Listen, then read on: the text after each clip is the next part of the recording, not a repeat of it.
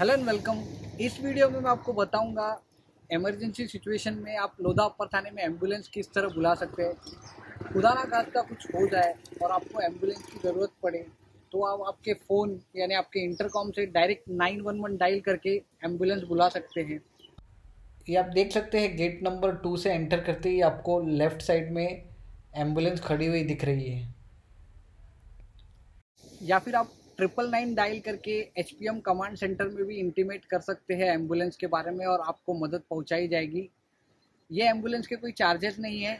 इस एंबुलेंस के साथ लोधा का एक एम्प्लॉय भी आएगा, जो डिटेल्स लेगा और एंबुलेंस के निकलते ही वो मेन गेट पे इन्फॉर्म करेगा कि गेट ओपन रखिए ताकि एंबुलेंस जल्दी से जा सके। मैं आपके साथ लोधा के द्वारा इम्पोर्टेंट कॉन्टैक्ट की जो लिस्ट दी गई है वो शेयर कर रहा हूँ।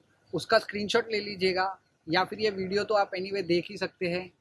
इस लिस्ट में emergency services fire station police station और नियर बाय हॉस्पिटल्स के कॉन्टैक्ट और कितना समय लगता है वो दिया गया है।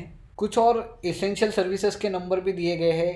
HP gas internet service Airtel dish TV Tata sky दूसरी इमेज में gate number two gate number three reception और लोधा मैनेजमेंट के लोगों का डायरेक्ट एक्सटेंशन दिया है, गया है।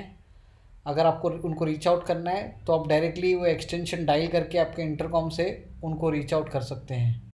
लोधा अपर थाने की छोटी से छोटी अपडेट के लिए मेरा चैनल सब्सक्राइब कर लीजिएगा। Thank you very much